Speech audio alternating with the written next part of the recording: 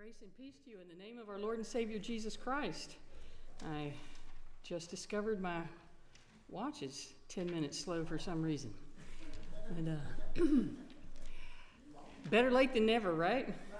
It is good to be here in the house of the Lord today, and uh, good to see uh, some folks who haven't been able to be with us for a while. Glad to um, glad to have you here this morning, and I greet those who are uh, watching online with us this morning. And please uh, let us know who you are and uh, that, you, that you're with us, and be sure to um, enter in your prayer request so that we can address those later on in the service.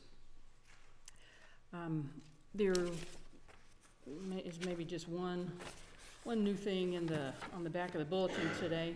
Um, there's in addition to those in-person meetings of um, folks in the United Methodist Church um, helping uh, congregations, local congregations, to understand what's going on with the disaffiliation of some churches and what the future of the church might be. There is a, an online webinar for those who aren't able to be at the in person uh, meetings on Sunday afternoon.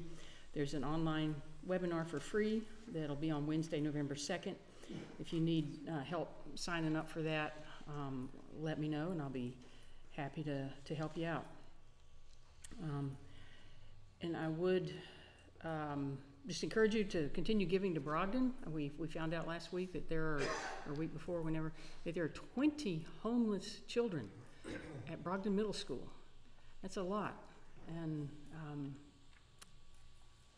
acts of mercy are definitely needed uh, where we, we send the food over and there's flyer out there with the list. It's printed here in the bulletin if you didn't get a flyer uh, of the foods that are needed. Um, and there's got two lists going things that um, students need during the day to snack on. Um, and, and, and then there's another list of things that they can take home with them wherever home is for that night a hotel room or a shelter or wherever. Um, I hope it's not a car. I hope it's not under a bridge. Um, but things that with pop tops, you know, easy easy to, to manage, easy to eat, and microwavable items uh, could be helpful as well. So um, let's be as generous as we can, and let, let's pray about the, the justice aspect of that as well. What acts of justice are needed to um, address homelessness in, here in Durham? It's a lot tough, tougher question it's a lot harder to, uh, a problem that's a lot harder to solve, requires um, lots of conversation with, with lots of folks. Um, it's not just something one church can sit inside and talk about and raise up and fix. Um, but we can participate in these, these acts of mercy in the meantime.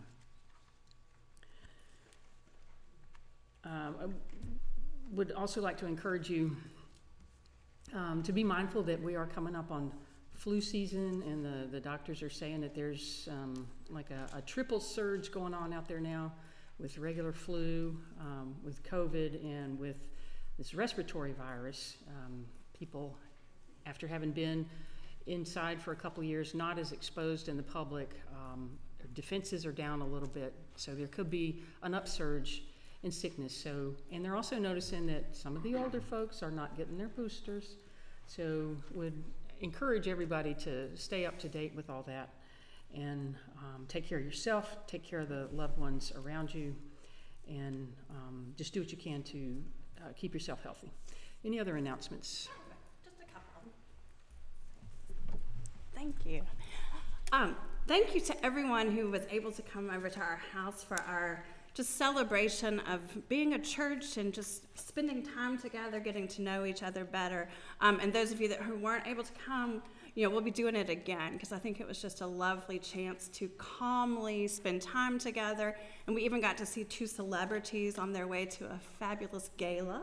Um, so, the other announcement I have for today is that uh, Ingrid and Cynthia and I and the Durham Children's uh, Preschool, Community Preschool, uh, we've been in conversation, and we're going to make a, a collection um, through maybe end of November for the North Carolina Diaper Bank. Uh, as you may or may not know, people who are on food stamps or the WIC program, that does not cover diapers, it doesn't cover feminine hygiene, and it doesn't cover adult diapers. And the food, uh, the diaper bank of North Carolina is on Club Boulevard. They repackage. So if you buy a big thing, they repackage into groups of 10. If you have something at your house, diapers for a grandchild, something that didn't work for you, you can bring already opened packages of unused items, obviously. And they'll take them and repackage. It's a chance for us to work with the preschool as well on a shared mission project. Um, that was one of our goals when they um, started renting from us was that we could build community with them, and then COVID came. So um, if you have any questions, if you'll feel free to talk to Ingrid, me, or to Cynthia. But um, that's something that we can do for another group of people that are in need. Thank you. I invite you now to begin preparing your hearts and minds for worship. Um, as you settle in, take a few deep breaths and begin to let distractions fall away.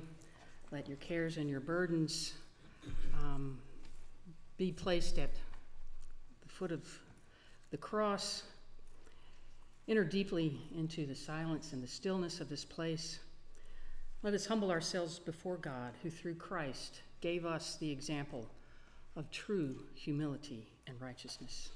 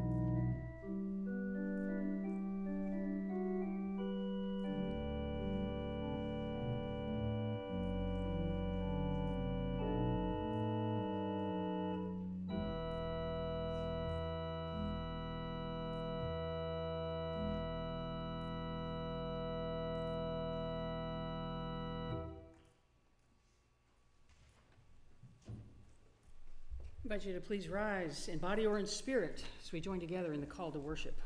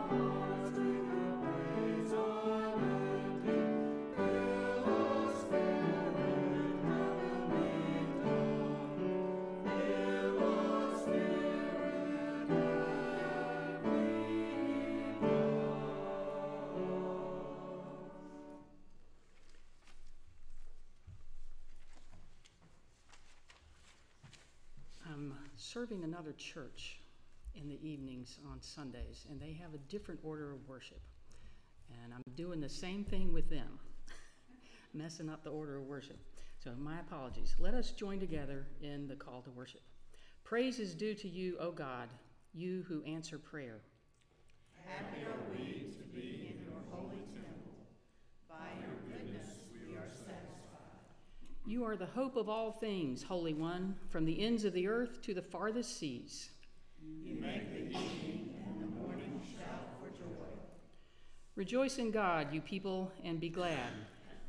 Let us shout and sing together for joy. Let us pray.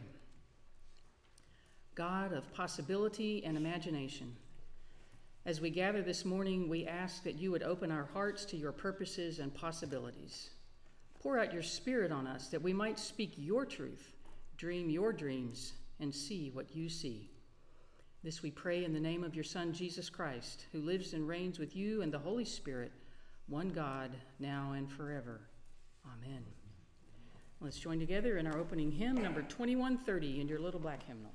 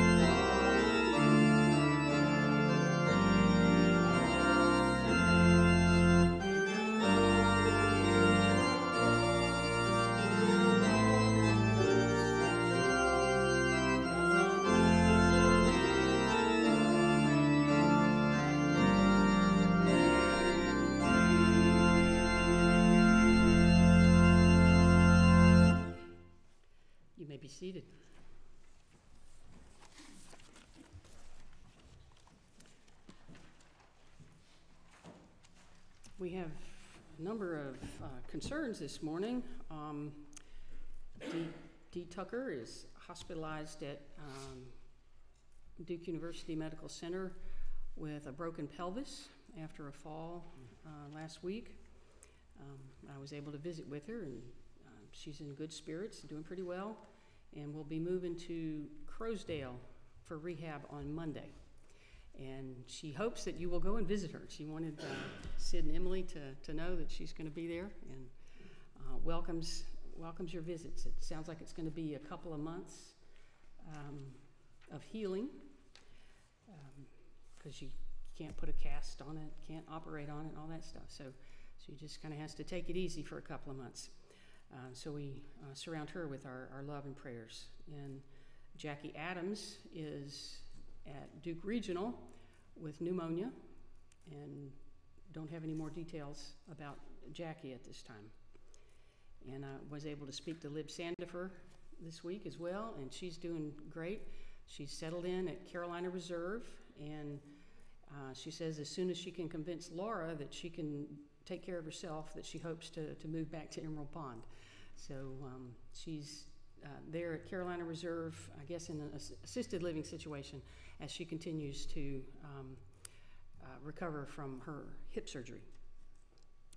Uh, we want to lift up Ann Wells this morning as well. Um, her six year old grandson, Jacob, that she's mentioned before, um, is.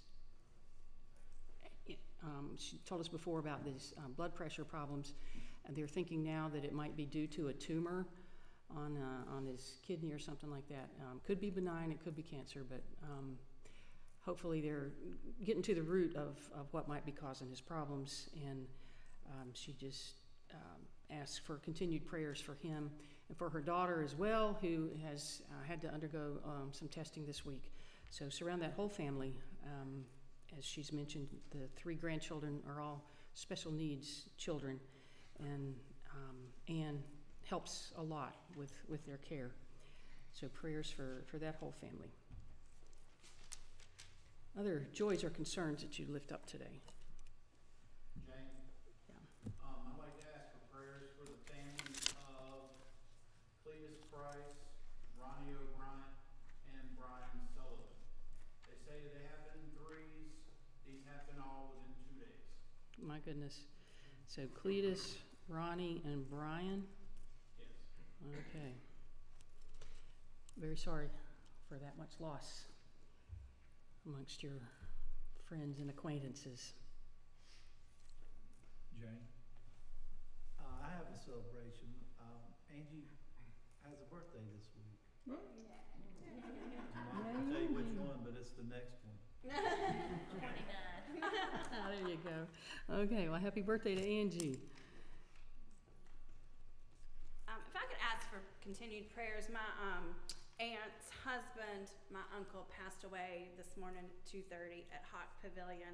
Um, there was enough time for all of his family to get here from all over the country, so that's a blessing. And then prayers for my cousins as they are trying to move their mother, who is bedbound, near one of them into a facility. So it's there's still a lot of transition happening.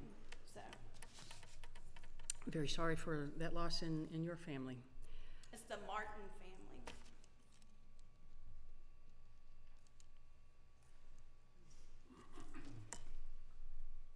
Other joys or concerns?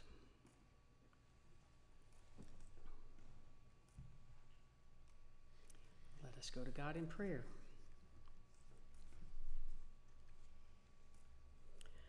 Merciful God, you are the strength of those who humbly confess their sin and place their hope in you. Save us from vain displays of righteousness and give us grace to keep faith with the true humility of our Lord Jesus Christ. Save us from our false assumptions about how the world should be and open our eyes to the wondrous grace of your realm. We praise you for sending us Jesus, our teacher and our deliverer, to model for us the way of love for the whole universe. We offer up our prayers of love on behalf of ourselves and, on our, and of our neighbors, and on behalf of your creation and our fellow creatures.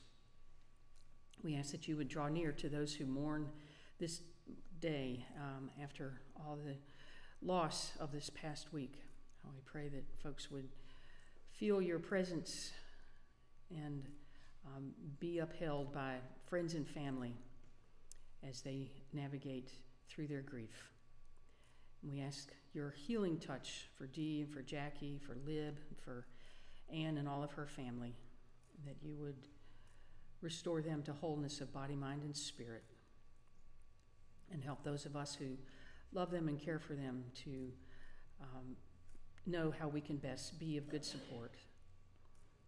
We lift up our friends across the street at Brogden Middle School and um, ask that you would stir up in us compassion and generosity and imagination for ways that we can touch that situation of, of homelessness that's so prevalent across Durham, but um, especially right across the street from us. We know the solutions aren't easy, but we pray that you would give us the courage and the imagination to be part of some solution for those children.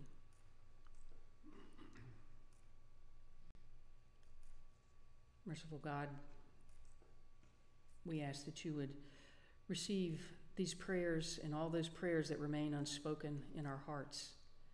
We ask that you would pour out your strength and your courage upon us so that we may boldly work for these things that we've prayed for. We pray now as you taught us to pray, saying, Our Father, who art in heaven, hallowed be thy name. Thy kingdom come, thy will be done, on earth as it is in heaven. Give us this day our daily bread, and forgive us our trespasses, as we forgive those who trespass against us. And lead us not into temptation, but deliver us from evil. For thine is the kingdom, and the power, and the glory forever.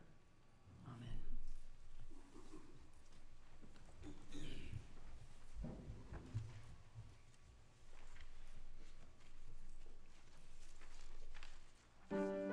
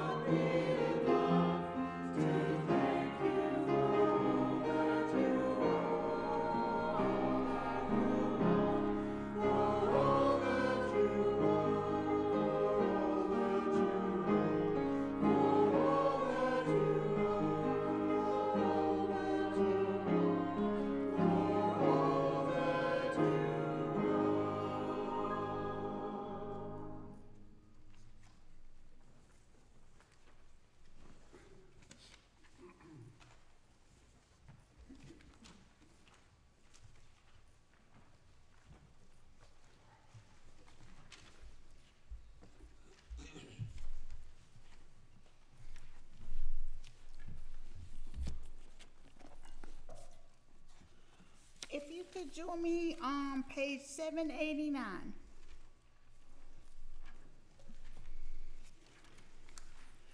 Praise is due to you, O God in Zion. And to you shall vows be performed.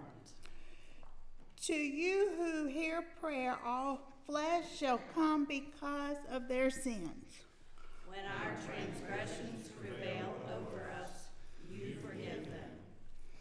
Blessed are those whom you choose and bring near to dwell in their courts. We shall be satisfied with the goodness of your house, your holy temple. O dread deeds, you answer us with deliverance, O God of our salvation. who is the hope of all the ends of the earth and of the farthest seas, who by your strength established the mountains, being girded with might. Who stills the roaring of the seas, the roaring of their waves, the tumult of the people. Oh, so that those who dwell at earth's furthest bonds are afraid at your signs. You make the morning and the evening resound with joy. You visit the earth and water it, you greatly enrich it. The river of God is full of water. You provide its grain, for so you have prepared it. Your water it flows abundantly, settling its ridges, softening it with showers, and blessing its growth. You crown the year with your bounty. The tracks of your chariot drip with fatness. The pastures of the wilderness drip, the hills grind themselves with joy. The meadows clothe themselves with flocks. The valleys deck themselves with grain. They shout and sing together for joy. All right, now if you could join me for Luke chapter 18, verses 9 through 14. He also told his parables to some who trusted in themselves that they were righteous and regarded others in contempt. Two men went up to the temple to pray, one a Pharisee and the other a tax collector. The Pharisee, standing by himself, was praying thus God, I thank you that I am not like other people, thieves, roofs, adulterers, or even like this tax collector. I, fa- mm, I fast trace a week. I give a tenth of all my income. But the tax collector standing far off would not even lift up his eyes to heaven, but was beating his breast and saying, God be merciful to me, a sinner. I tell you, this man went down to his home justified rather than the other, for all who exalted themselves will be humbled, but all who humble themselves will be exalted.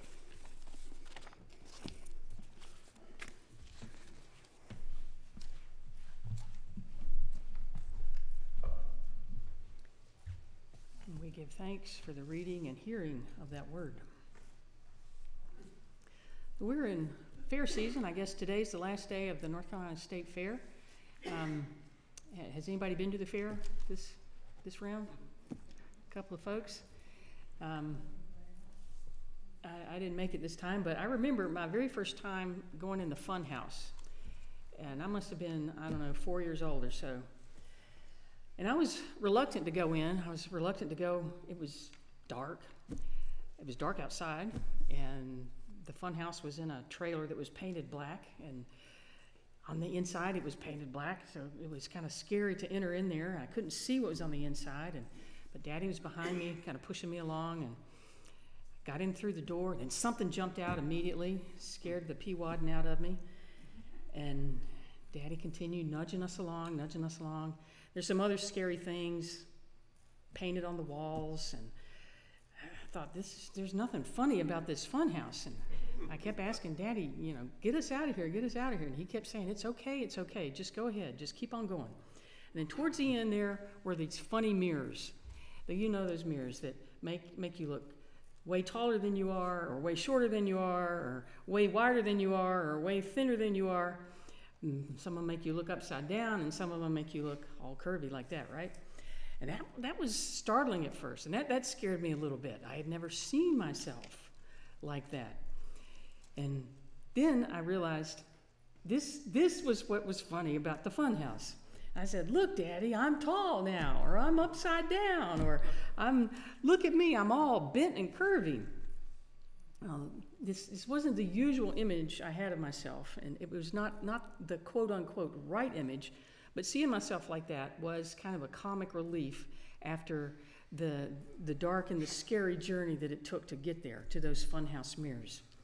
Now, I wonder if you can imagine with me the gospel in the light of that entrance into darkness and that encounter with those funhouse mirrors. Now, this passage that Ingrid just read to us from the Gospel of Luke presents us with a couple of characters who see themselves in very different ways. There's a Pharisee who enjoys plenty of status and respect in the Jewish community. He's a religious official who is an expert on the religious laws and was scrupulous in keeping the laws. He was straight as an arrow. And when he goes to the temple to pray, he goes in and he stands by himself and proceeds to tell God how righteous he is. And he heaps contempt on these others who are not like him, especially the tax collector, who he can see outside the temple praying. Now, the tax collector is the lowest of the low. The Roman emperor needed lots of money to keep the empire running and to fund his lavish lifestyle and to keep up his armies so he could keep on grasping and conquering all around the world. So he made demands of the kings and the governors, and the kings and the governors made demands of the local officials, and on down the line until it came to the one who actually had to collect the money from the individual citizens. So the tax collector was under great pressure to collect what the emperor demanded. And the tax collector, in turn, pressured and threatened the citizens to cough up their taxes. And when he goes to the temple to pray, he can't actually go in. He has to stand far off because of his despised status in the community. When he prays, the tax collector doesn't even dare raise his eyes to heaven like the Pharisee did. He beats his breast and tells God how bad he is, and he begs for mercy. Imagine that he must have come to the realization of how oppressive and corrupt the system was, and that he was just a pawn of the emperor. And he was abusing his own fellow Jews just as the Roman officials were abusing him. The tax collector's in a dark place. He calls out for mercy. The scriptures tell us that he went down to his home justified, made righteous, and made upright. But he was justified not by his good deeds or by his perfect image or by his high status, but by the confession that he saw himself as a crooked sinner. And, and by the realization that the way of the Roman Empire was not the way of the God to whom he was praying tax collector was justified by his realization that he was completely dependent on the mercy of God. So the tax, tax collector could say was sort of like me looking in that funhouse mirror and calling out, Look, Daddy, I'm all bent and curvy. Now, the tax collector wasn't exactly laughing at himself like we might if we were looking in a funhouse mirror in that situation, but he was honest with God about the flaws that he saw in himself. The Pharisee saw himself as a fine, upstanding citizen and put himself up on a pedestal and already righteous in his own eyes. The tax collector, in lowering himself to a place of humility, was raised up to righteousness by the grace and the mercy of God. That's kind of the opposite of what was expected in that day and time, kind of the opposite of what's expected in our day and time. But that's how it is in the realm of God. God's way, the realm of God, is more like a funhouse mirror. Things are way different from many of the false assumptions that we have about the way things should be in the world. In the realm of God, down is up, up is down, wide is narrow, narrow is wide, short is tall, tall is short, Nothing looks like what we're used to or what we've come to believe is really the way things are or are supposed to be. In the realm of empire, we can't imagine a crooked sinner like the tax collector being justified. In the realm of empire, we can't imagine that being humble is the way to salvation. In the realm of empire, we can't imagine that going down is the way up. But that's precisely what Jesus is teaching us in this parable. It's what he teaches us throughout the Gospels, both in his sermons and by his own behavior. He's teaching in the context of the rule of the Roman Empire, which was known for its excesses and for its corruption, a violent and greedy and exploitative, oppressive government that took what it wanted by force and by manipulation, and it demanded obedience and worship of the emperor. So Jesus sets out to teach the ways of God's realm in contrast to the ways of empire. It starts with the temptation in the desert when he rejects everything that the devil offers him. The chance to be popular by turning stones into bread and giving people what they want, the chance to be wealthy and powerful by taking over all the kingdoms of the world, and the chance to be influential and in control by and, and dazzling the crowds by a superhero feat of jumping off the roof of the temple. Jesus rejects all this and instead humbly trusts in God and in God's mercy. And then Jesus teaches us through his first big sermon, the Sermon on the Mount from Matthew 5, the Beatitudes. He teaches us that, the blessed, that blessed are the poor, the blessed are those who mourn, that the blessed are the meek and the hungry and the thirsty and the merciful, the pure in heart, the peacemakers. It teaches us clearly that what's important to Jesus is the opposite of everything that the devil was offering him, and opposite from the ways of empire. And then, near the end of his ministry, in the Gospel of John, Jesus performs an act of profound humility when he, the teacher and the master, washes the feet of his disciples. He takes on the role of a lowly servant. And then finally, in the ultimate act of humility and sacrifice, Jesus, who could have called in legions of angels to save him, refuses to engage with the violence and the power of the empire and refuses to engage with the violence and the power of the religious officials. And he submits to beating and mockery and death on a cross. And all that began in the very first place with God coming down, coming down to become flesh and to dwell among us here on earth. And through his humility, Jesus was exalted. Jesus was raised up.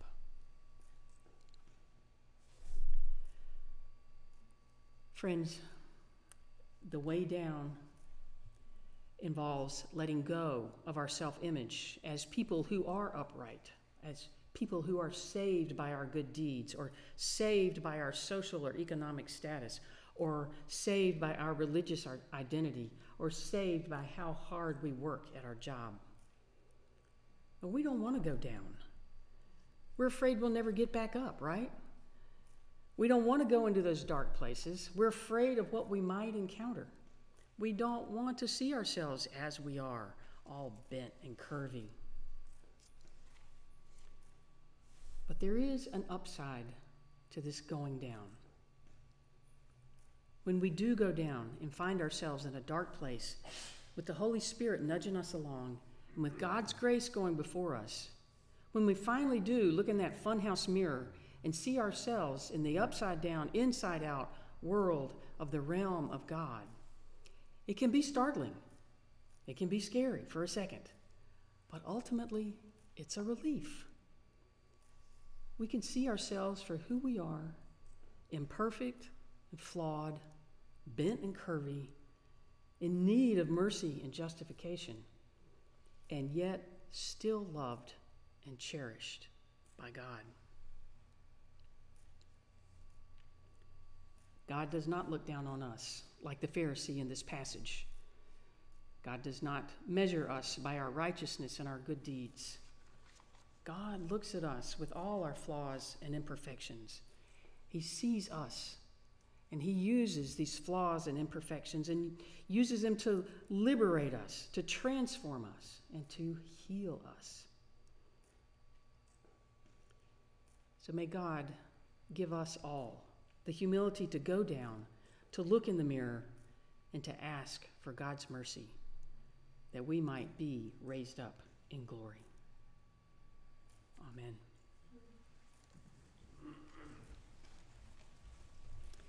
I invite you now to please rise in body or in spirit as we join together in number 2025 in your little black hymnal.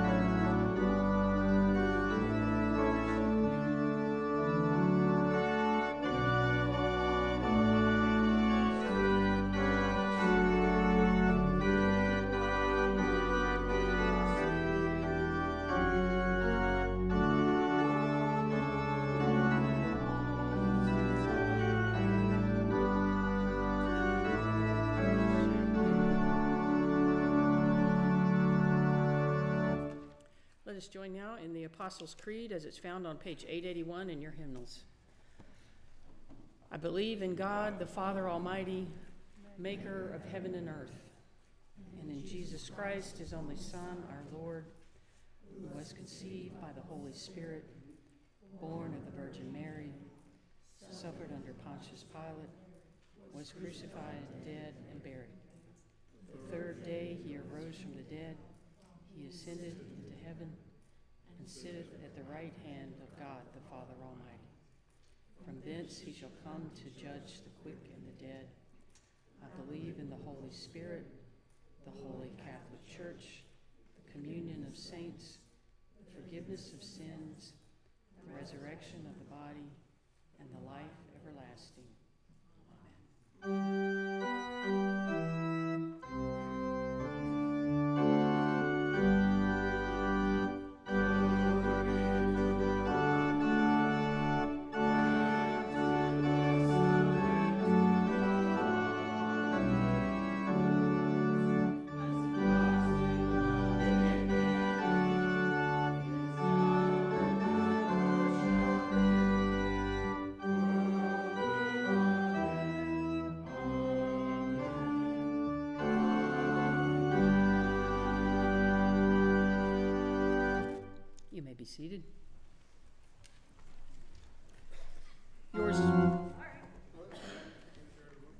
Yours, O Lord, are the greatness, the power, the glory, the victory, and the majesty, for all that is in the heavens and on the earth is yours. Yours is the kingdom, O Lord, and you are exalted as head above all. Let us humbly return to our exalted head those gifts which he first bestowed on us.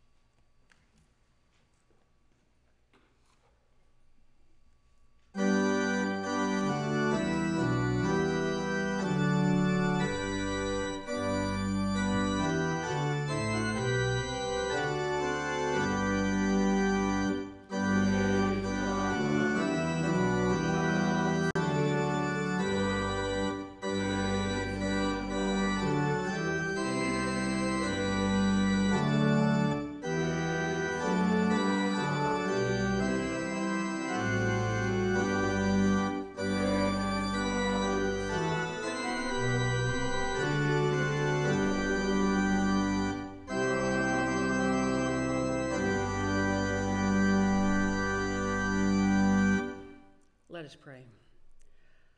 Holy God, we thank you for your goodness and mercy.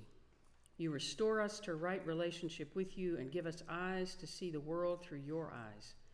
In gratitude for the abundant blessings in our lives, we joyfully contribute to the work you are doing through the mission of this church. Use these gifts to uplift people in our community and the world through the presence of Christ your Son. Amen. I invite you to remain standing for our sending hymn, number 337.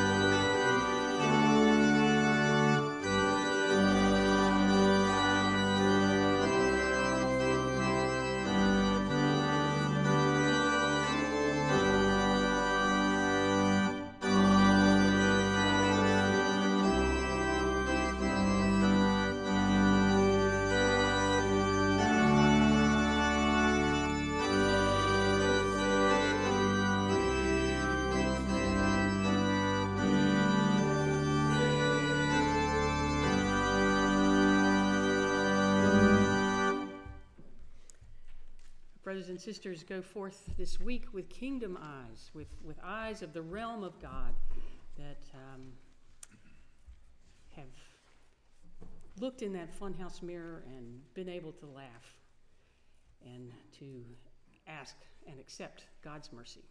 So go in peace, go with the love of God, with the grace of our Lord and Savior Jesus Christ, and the companionship of the Holy Spirit, now and forever. Amen. Oh, Holy